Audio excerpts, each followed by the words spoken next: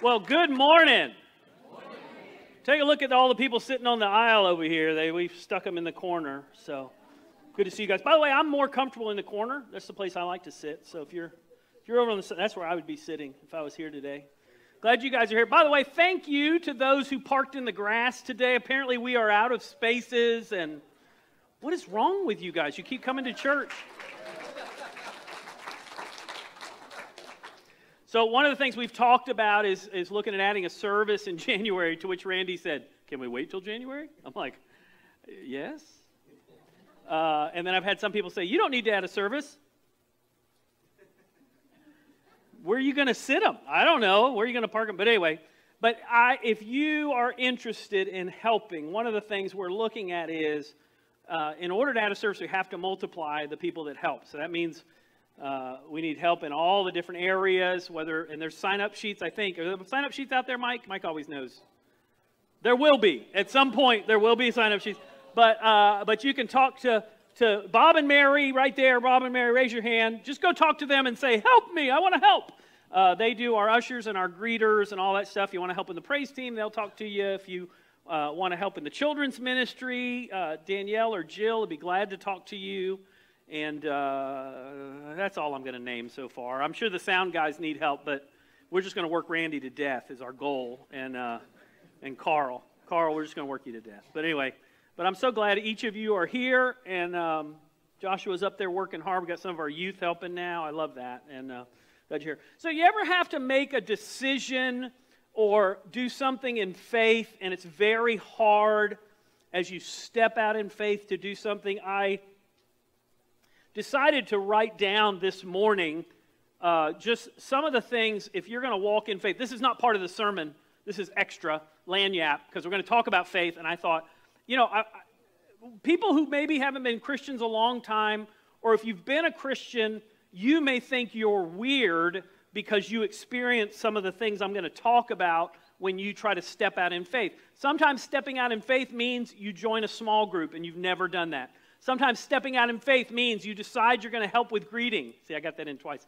Uh, and, and, you've never done that. You, are going you're gonna help uh, uh, serve next Saturday night at the Fall Festival. hint. And, uh, you know, uh, it, it, all these, you're going to park in the grass. You know, whatever it is, you're going to walk in faith. Maybe for you, walking in faith is adopting a child. Maybe for you, walking in faith is going out of your way to volunteer somewhere to help kids with reading or bringing food to a food pantry or, or whatever it is. We have people who open up their homes and do Bible studies even for teenagers. We, amazing things. Um, uh, Ernie is passing on his gifts to teens, teaching them how to play guitar and all kind of stuff. And so, you know, there's all kinds of ways that you can step out in faith. And if you're like me, when you start to step out in faith, you get really excited. And so your initial step is like, wow, God is going to do great things. And so I wrote down first step, excited. And then that moves straight into the next step, which is not as fun fear and doubt. How in the world are we going to do this? How is this going to work out? Couldn't I have done something easier? And don't forget the old nobody appreciates you. That always pops up whenever you help anybody, by the way. I don't care if you give them a jump start or anything, like they don't appreciate it. That's the enemy. So you go from excited to fear and doubt, and then you go, don't forget, frustration, because nothing ever goes the way you thought it was. You thought, I'm going to go in there and I'm going to help in this area, I'm going to do this area, we're going to step out in faith, and then you go, that's not what I thought it was going to be. And so you have to go through frustration, but in frustration, you then move on to endurance, which is, I'm going to keep going. Now, you can quit at that point. If you quit at that point, that's not called the white walk of faith anymore. that's called the walk of what I want to do, which I like that walk better. Can I be honest? The walk of what I like to do. Because what I like to do is eat, watch football, Netflix, and hang out. But God's never called me to any of those things. Uh, I keep looking in the Bible. I mean, rest is in there, but I haven't seen Netflix, poolside, refiners, jacuzzi. you know, instead of refiners for bacon. Yeah, I got that one. All right, so you move to frustration and then endurance. And during endurance, what happens is you have to tweak because you were excited at first with what God wanted you to do, but now you kind of have to tweak how you're going to deal with it. Maybe it wasn't exactly what you thought. Maybe you do need to mix in some times of rest because you're helping in an area. Maybe you need to back off, or maybe you need to do a little more. By the way, the shuttle always used to use the most uh, fuel uh, those first few feet off the pad. Anytime you start something, those first few weeks, months are going to take the most energy to get it off the ground. Whether you start a new job or whether you go and volunteer in a new ministry, those first few weeks, even months, can be difficult. And so you work on endurance and then you tweak. And then the next one's also called endurance, but the next one's called endurance and trust. God, I trust that you're doing something. My story about the coin was one of those things because I kept setting up my camera every week, and I remember thinking, Eric, you are the worst filmer in the world. This who is going to watch an iPhone filmed badly from the fourth row where you could hear if anybody coughed or laughed or asked if they could go to the bathroom of their mom, you could hear that in Afghanistan and yet it made a difference in somebody's life. And so, what do you do? You endure, and then you start to have faith. God, I know this is what you've called me to do, so I'm just going to keep going. I don't feel like going right now. I don't. By the way, I've never had a step of faith where I said, I want to keep doing this. And, and I'll be honest with you, if you could, it's a good thing that you don't have insight into my mind on Mondays when I've almost quit like 500 times. Because I thought, I'm done. I'm done. Why do I want to do? I could do something else. I was good at teaching school. You can ask Danielle. She'll tell you I was good at teaching school. I could do that. And then God reminds me, but that's not what I called you to, so you'll be miserable. Endurance and trust. And then here's the best thing. After you go through all those emotions and all those things, you know what starts to happen? You start to get blessings you start to see the fruit of what God's doing. Now, I wish that when you were going to step out in faith, that God would like do like the movies where you could get like a flash forward. Like this is what it's going to look like. This is the God never tells you. And, and what happens is when you start doing something where you step out in faith, you literally become miserable at some point. And that's the point of faith because you're not doing it based on feelings. You're not doing it because you feel like doing it. You're not doing it because anybody appreciates it. You're not doing it because of some high you're getting from doing it. You're doing it because you're being faithful to what God wants you to do. That's why it's the walk of faith, not the walk of feelings. But over time, you see the blessings. Think of it like disciplining your kids. Remember when your kids were little? You always had that one time that you were at the store. My wife loves to remind me of this story. You're at the store and and your kid grabs something off the shelf and starts screaming that they have to have it. And if you're a good parent, you take it away and put it back on the shelf. That is the most miserable day of your life. Especially if you're a mom, because the dad's probably going, No, no, just get it. It doesn't matter. But the truth is, we all know that if we give that child everything and provide them everything and spoil them, that one day they're going to be 12. Do you remember 12? And so what do we do? We put the toy back on the shelf and we go, You're not going to get it because the way you're acting, that's not how we behave. We drive out of the McDonald's drive through, we leave the thing in the store, whatever that thing is. Why? Because we understand that in the future it's for the good of the child. Many of you, many of me, there's only one of me, but you get it. Many of us are in the stage right now where we're having to endure something and we don't like it. And we're, ah, I don't want this. And here's the point where you have to say, But God, what do you want me to do? Now, I'll be honest with you. Sometimes God will say, That's all I wanted. I only wanted you to get this far. But most of the time, God says, keep stepping out, keep walking, keep going forward. I can't imagine being Daniel. Have you read the book yet? If you get a chance, read it.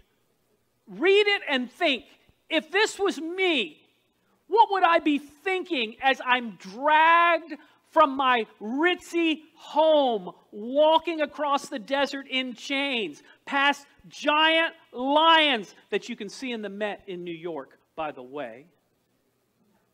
Side note love archaeology. Right? You can see those, right? What am I thinking as I go in and they say, You can eat anything you want? Sounds good. And Daniel and his friends go, Nay, nay. That's not what God wants us to do. And you think that's the only test. And then over and over, Daniel's tested. They're like, we're going to wipe out all the wise men unless they can tell me this dream. Uh, could you hang on a second? I think I can tell the king his dream. We have the lion's den story. We have the fiery furnace happening with Shadrach, Meshach, and Abednego. Or as Steve calls them, Horshack and his friends. Google Horshack, guys. That's Google Horshack, John Travolta. That's all you need to Google. they know who John Travolta is. So. It was before he was bald. Did you know he was bald? He's bald. Okay. Just making sure. You know, you look at all these stories and you think, how in the world? Why? Because Daniel, you ready for this? Daniel walked in faith. And if you walk in faith, it's not going to be easy. I would love to tell you, you name it and claim it. You just go through life and going, Jesus, everything's wonderful. And it is if you don't do anything. I'm telling you, if you, but, I, but let me give you a secret too. I know that sitting around and watching Netflix and sitting by the pool sounds great. You know what will happen if you do that? You'll get depressed. You know why? Because you're not fulfilling God's purpose for you. When you step out in faith, it is exciting and terrifying and frustrating and rewarding. And there's days it's depressing because you've poured your life into somebody's life and you realize that they don't care. But then there's days you pour your life into somebody's life and you realize that God is using that person and doing great things with them and how God used you to bring fruit. So, as we look at this today, I want to talk about what we've learned, and I want to mainly talk about this idea that even though we're scared, God walks with us in faith. This is what we've learned. When I was a little kid, you've heard me tell the story about my parents. I was probably three or four years old. They took me to the haunted house at Disney World. What a great start. First time I've ever been to Disney World, I was probably three or four. I still trying to figure out. I asked my mom last night. She goes, I don't know about that. When my mom says about that, that means she has no idea either. By the way, I got lost that day. Five kids were together in Disney World, and I specifically remember standing outside the castle crying as a security guard came up and said, Where are your parents? That's the story of a middle child right there. If you're a middle child, I just. it's the only story you need. All the other kids are with the parents, and where are you? Lost in Disney World. My mom says, I don't remember that. That's because you weren't around for that story. By the way, she's watching online today, so hey, mom. I have an amazing mom, by the way. So she was here last night. So we go to the haunted house, the room starts stretching. If you remember that part, I start screaming, which is always a good start. My dad picks me up, and I'm still screaming, and he says, Hang on. I'm going to go step on that guy's toe, and he's going to let us out. And of course, as a little kid, I went. and so my dad slowly went towards that creepy person that's over in the corner, dressed all in black. And when he got over there, I just assumed he stepped on his toes because the door opened. And I went, woohoo! We're out of here.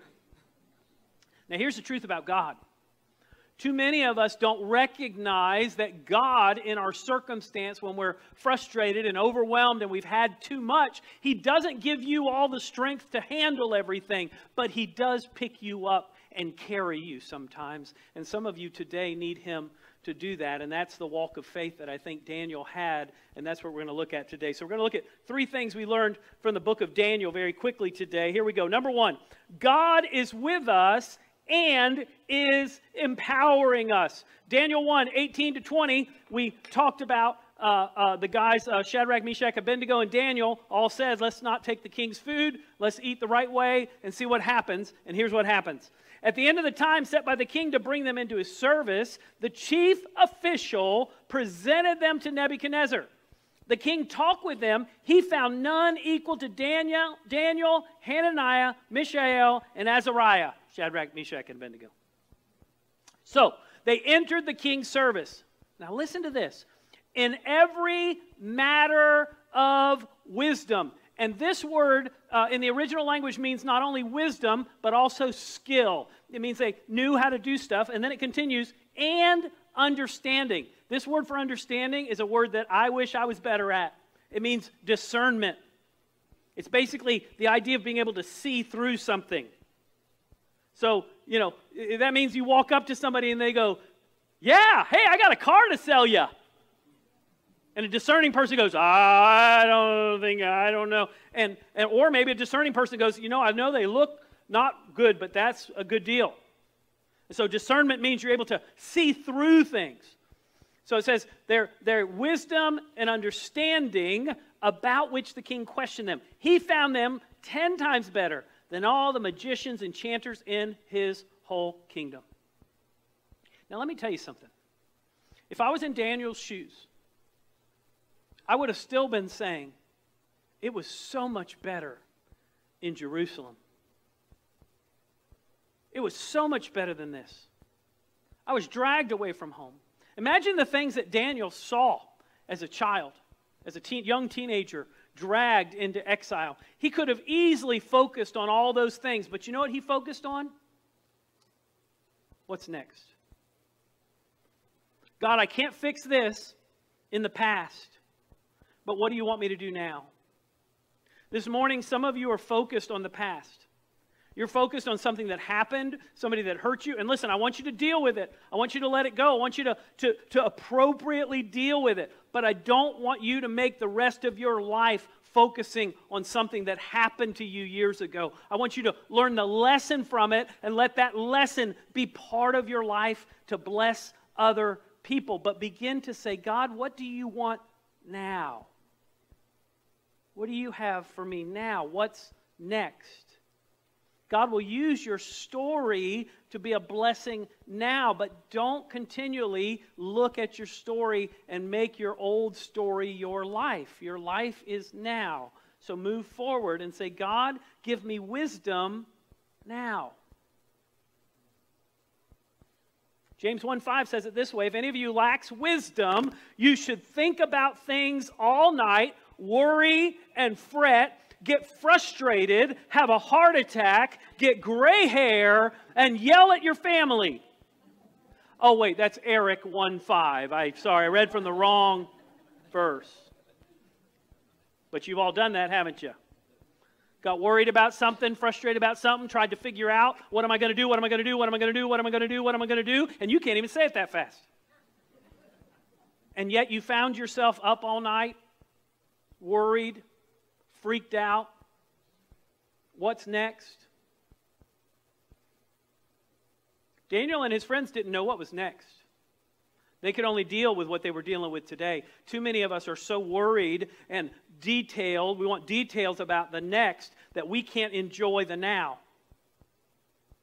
I honestly think that Daniel and his friends enjoyed the quiz time with the king because they knew God was in charge. And so here's what the verse actually says If any of you lacks wisdom, you should ask God, who gives generously, and I love this, to all without finding fault, and it'll be given to you.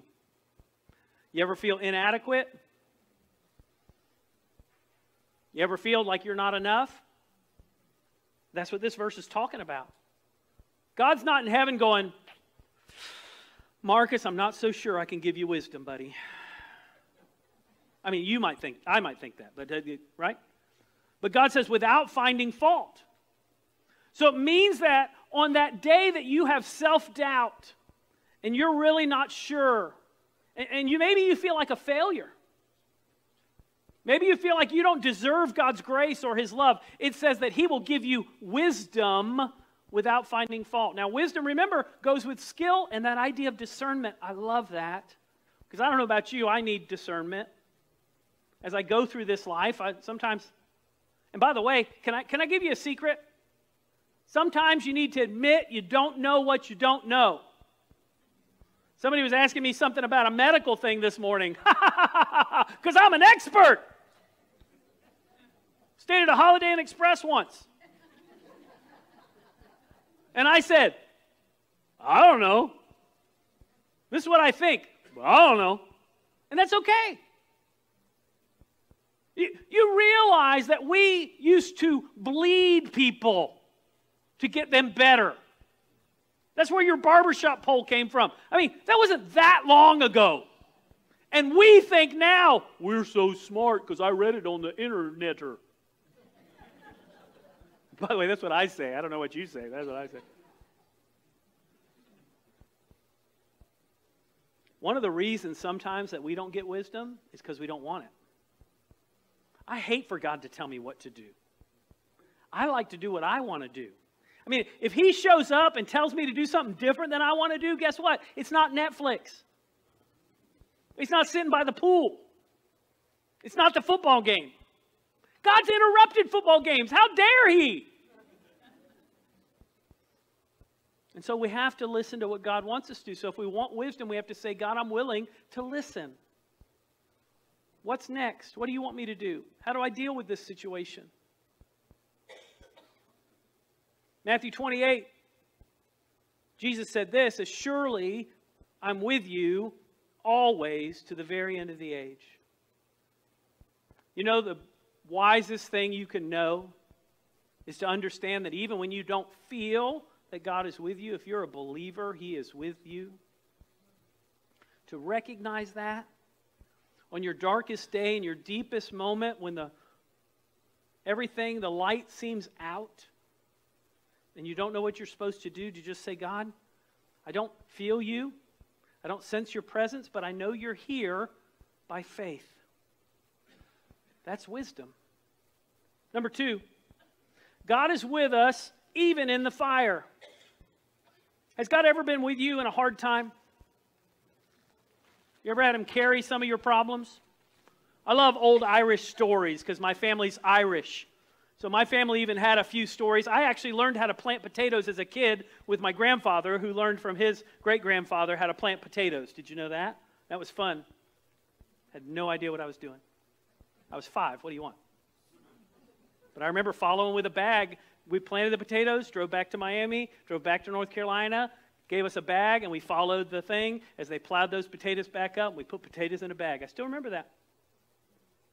So there's an old Irish story about a farmer walking down the road, just got his big bag of potatoes, walking down the road, and an old man pulls up in a buggy.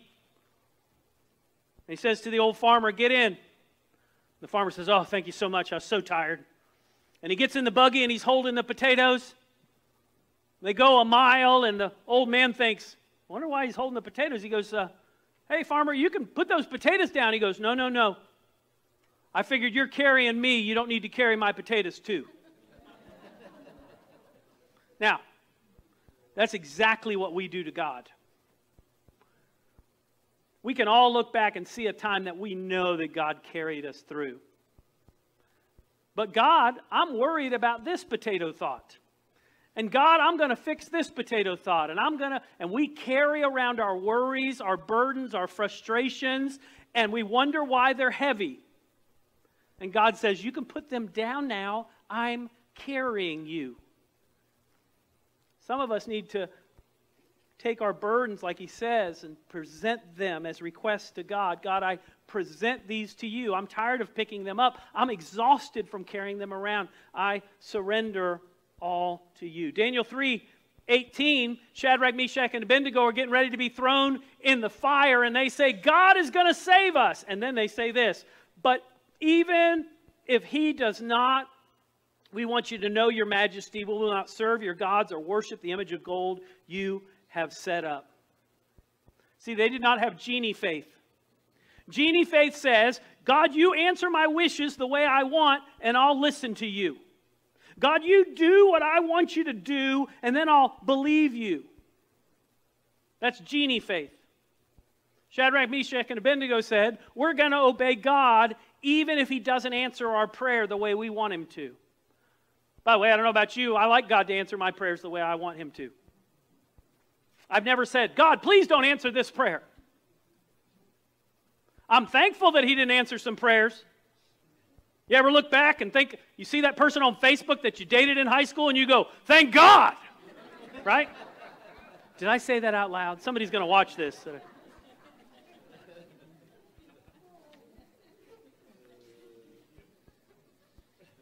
Can we delete that, Randy? It's too late, isn't it? It's already, it's already gone out over the airwaves. Daniel 3, 25 to 27, this is a little bit later. I don't know about you, but if I was Shadrach, Meshach, and Abednego, I'd be like, God, save us from the fiery furnace. They're tying their hands. God, save us from the fiery furnace. They're leading them up the walkway to the top, which is how they put them in. As they're being thrown, and the guys who threw them die, they have to be thinking, God, save us from the fiery furnace. As they're falling, they have to be thinking, well, I guess even if He doesn't, I guess we're going to go to heaven real quick here. Ah! That's the land of the lost cry, by the way. Ah! You can Google that too. They fall into the flaming furnace, and they had to be thinking, I thought God was going to save us. And then the next thing they know, the, the ropes are burned off, and they are walking. How big is this furnace? They are walking around in the furnace. I don't know if they've set up chairs. I'm not sure what the deal. Are they playing golf? Is, is what's happening? But here's what's really neat. Listen to this. The, the king comes. He looks in and he says, "Look, I see four men walking around in the fire, unbound, unharmed, and the fourth looks like a son of the gods, which also can be translated the son of God. Gosh, it seems like I've heard something about the son of God. Many scholars believe this is Jesus actually showed up to hang out with Shadrach, Meshach, and Abednego. And if they hadn't gone in the fire, they wouldn't have met Jesus. I love that thought. And then it continues Nebuchadnezzar then approached the opening of the blazing furnace and he shouted, which shows that he was still pretty far away. Shadrach, Meshach, and Abednego, servants of the Most High God, come out, come here. So Shadrach, Meshach, and Abednego came out of the fire they must have been like bummed.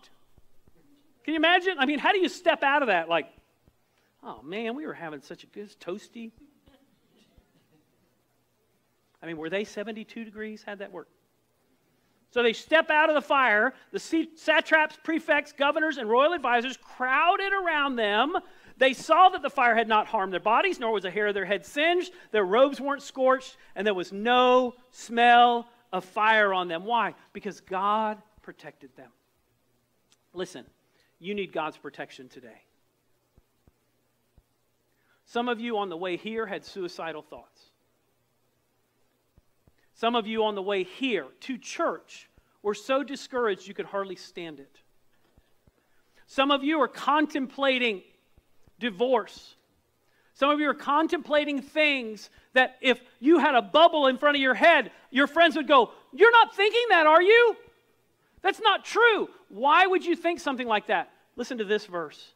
For our struggle is not against flesh and blood, but against the rulers, against the authorities, against the powers of this dark world, against the spiritual forces of evil in the heavenly realms. Listen, Satan wants to destroy you, destroy your family, destroy your neighbors, destroy anything that matters. The evil we've seen in Israel is just a touch of what the enemy does and wants to do, and he kills people every single day with their thoughts.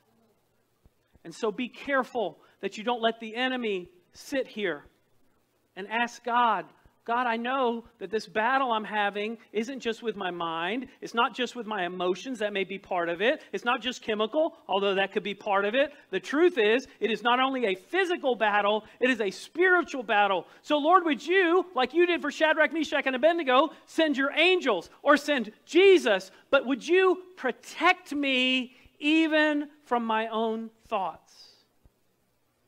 Because some of you today, will be free when you begin to realize the battle you're in is not just mental. It may be mental, it's not just physical. It may be physical, but it's also spiritual. That's why you're so discouraged beyond what you should be. That's why you don't want to do anything. That's why you want to give up and stop. Because your battle is spiritual. So begin treating it like a spiritual battle and treat not just the symptoms, but treat the cause. You need Jesus. He needs to give you power. Number three, we can trust God. Some of you grew up in just a minute homes. Every time you asked for something or asked for time with your parents or asked them to do something with you, they looked at you and said, In a minute. And then you'd come back and go, Hey, do you want to go to the park? In a minute. Do you want to go for a bike ride? In a minute. You want to play? In a minute. And you realize after a while that in a minute meant never. And so you quit trusting your parents. And because of that, many of you feel like God's the same way. That God wants to help you, but in a minute. And when you don't get the answer you think you should have, and when things don't go the way you think they should, you just give up. Because you're so used to being disappointed because of parents who never took time out to spend time with you. And yet, God wants to spend time with you. So Daniel's now like 80 years old. He's got to be tired of all these kings. He's under like king number five at this point. He's got to be looking at these dudes like, next. This guy makes a declaration that if you pray, you're going to the lion's den. And Daniel's like, well, lions it is. And so Daniel does what he always does, and he gets thrown in the lion's den. The king was upset because he got tricked. It was Darius. He wasn't the smartest axe in the drawer. He was a fry short of a happy meal. So he comes out in the morning. At the first light of dawn, the king got up. He hurried to the lion's den. When he came near the den, he called to Daniel in an anguished voice Daniel, servant of the living God, has your God, whom you serve, continually been able to rescue you from the lions? And I always love to think that Daniel paused at this point. Maybe he was relaxing on a lion. Maybe he named them by then. Come on, Buford. That's what I would. Oh, I'm hillbilly. Okay, sorry. Daniel answered, May the king live forever. How to win friends and influence people. My God sent his angel. He shut the mouths of the lions. They have not hurt me because I was found innocent in his sight. And I love this. He's not even out of the lion's den yet. And he says, Nor have I ever done any wrong before you, your majesty? He basically says, Hey, what they accused me of wasn't true. The king was overjoyed. He gave orders to lift Daniel out of the den. When Daniel was lifted from the den, no wound was found on him because he had trusted in his God. In Aramaic, this word trusted not only means trust, but it means to be sure. Are you sure that God loves you? The enemy wants you to doubt it. Are you sure he finds you worthy because of the blood of Jesus Christ? The enemy wants you to doubt, wants you to think that you don't matter, that you're not good enough, that you're too messed up for God to love, that you've made too many mistakes. But that's not God, that's your enemy. You can be sure, you can trust that God absolutely loves you and cares for you. In Proverbs 3 5 and 6, the reason that we know that God loves us is because he sent Jesus for us. Here's what it says in Proverbs 3 5 and 6 Trust in the Lord with all your heart. Lean not on your own understanding. In all your ways, submit to him, and what will happen? He'll make your paths straight. If you read in Revelation on the robe of Jesus is, are the words faithful and true. He could have put any words there. The truth is that God's faithful to us. And so we can trust him. Years ago, there was a guy named John Kavanaugh who went to see Mother Teresa's. He went to her place where she took care of people who were dying. And basically, he wanted some clarity in his life to figure out what he was going to do next. And so, as he was there a few days, finally, Mother Teresa came over to him and said, Hey, uh, can I pray for you? And he said, Yes. And she said, What do you want me to pray? He said, I would like you to pray for clarity. And she looked at him and said, No. And he said, What? She said, You don't need clarity. He said, But you seem to have clarity all the time. She said, I have never had clarity. What I have always had is trust. So that I will pray for you, that you will trust God. Some of us are looking for the answers for what's next, and the truth is we just need to trust God. Because you don't know what's next. And it's okay to just say, But God, you know. I know it's noon, I'm letting you out. You can turn it off now. I answered you. If you're here today and you've never given your life to Jesus Christ, that alarm's for you. It's time to wake up. So, yeah. So if you want to give your life to Christ today, I'll be here after the service, even with alarms going off, and I'll be glad to talk to you about what it means to be a Christian. All right, Grandma, time to get the alarm out of the purse. Uh, anyway, sorry, that's my mom that does that. Um, she, I, when I get home, she'll go, I do not. I know. I'm just kidding. See, see what I get in trouble for, Dave? Dave's like, yeah, I've seen you do that. Also, I want to pray for you guys. Those of you who are struggling, maybe one of the things I said earlier is something you struggle with today. God knows it. I don't. So He's going to help you walk through it, okay? It's a battle. If you need prayer, I'll be here after the service. Let's pray. Father, thank you for each one that's here. I pray that you'd bless them. Lord, I, I just can't imagine the faith that Daniel walked in, and yet he did. And Lord, I know through your Holy Spirit you can help us to have even more faith than we have. So, Lord, help us. Help us to know you. Help us to walk with your spirit in faith, to walk in power, to walk in your strength. Lord, I pray that we would learn what it means to trust you. Lord, even when we don't have clarity, even when we don't know what's next, that we could know that you're going to take care of us regardless. Father, I pray for that one today that needs to know you for eternity, that today they would surrender their lives to you. Lord, I pray for that one today who's struggling in a big battle with the enemy, with their thoughts, with negative thinking, Lord, and, and even suicidal thinking. That, Lord, today, this very day, that you would reveal to them that the battle is not theirs, the battle belongs to you, and that you will take care of them. So, Lord, do that today. Father, bless each one here. In Jesus' name, amen.